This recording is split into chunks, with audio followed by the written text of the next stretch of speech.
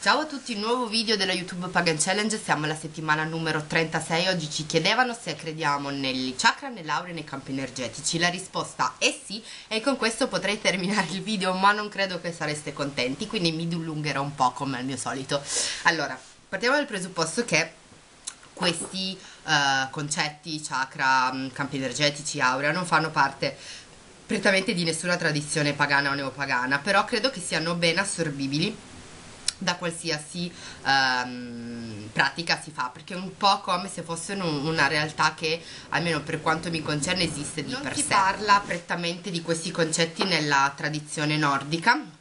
anche se diciamo che in un certo qual senso eh, sono credo comunque osservabili in alcuni tipi di pratiche ehm, anche un po' per eh, quei richiami a per esempio lo stav che è la ginnastica, lo yoga runico come viene eh, volgarmente chiamato ecco.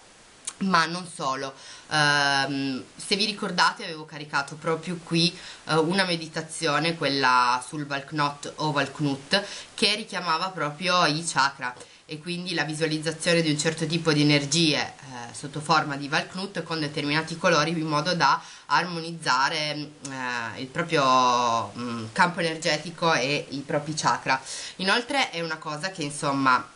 con cui io lavoro ovviamente perché eh, faccio Reiki, eh, quindi è ovvio che creda eh, che sul corpo umano esistano questi punti energetici o comunque che in qualsiasi essere vivente in realtà esistano. Dei punti energetici e un campo energetico, eh, presumo mh, mm, che le malattie siano disallineamenti del, dei chakra, del campo energetico e che eh, ci sia sempre una sorta di terapia che può accompagnare ovviamente una terapia medica eh, che agisca proprio su... Mh, mm,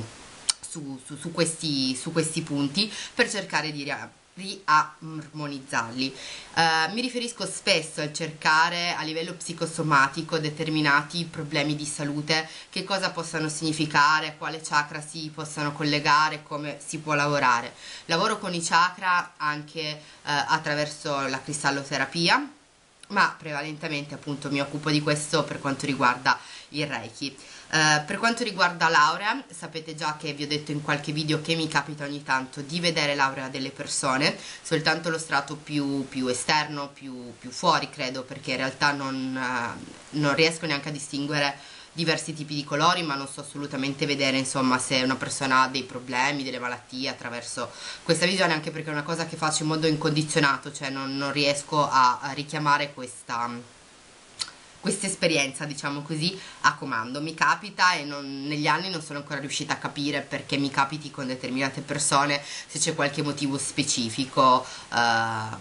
che riguarda le, le, persone, ecco. Però appunto io credo che l'aura uh, sia intorno a tutte le cose viventi,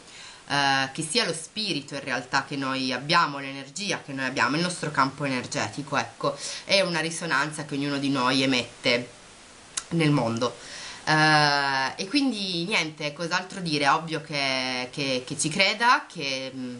osservi queste, queste, cose e che cerchi in un certo qual modo di prendermene cura, uh, facendo comunque meditazione, facendo reiki, mm, utilizzando delle discipline che appunto non sono magari propriamente legate alla tradizione nordica, ma che io reputo uh, assorbibili in qualsiasi tradizione perché sono un po' come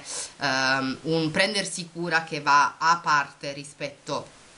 ha il vero cammino spirituale e, e, appunto penso che questo sia un pensiero abbastanza condivisibile nel senso che eh, io la meditazione sul Valknut l'ho presa dal, dal, libro di Galina Kraskova che mh, è una persona sicuramente incentrata sul sentiero nordico e se evidentemente ha lavorato anche lei con questo concetto assolutamente valido ma eh, comunque io ho ritrovato anche eh, legami tra rune diversi tipi di chakra che magari possono essere un po' forzati ma allo stesso modo ehm, possono essere assolutamente efficaci e utili per uh, un lavoro continuo e di, di, di gruppo diciamo tra, tra le varie eh, saggezze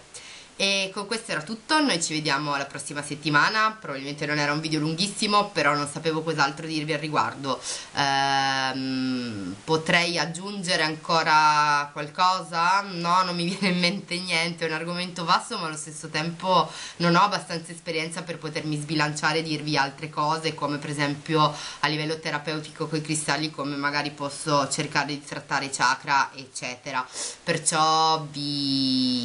lascio con questo. E noi ci vediamo al prossimo video davvero. Ciao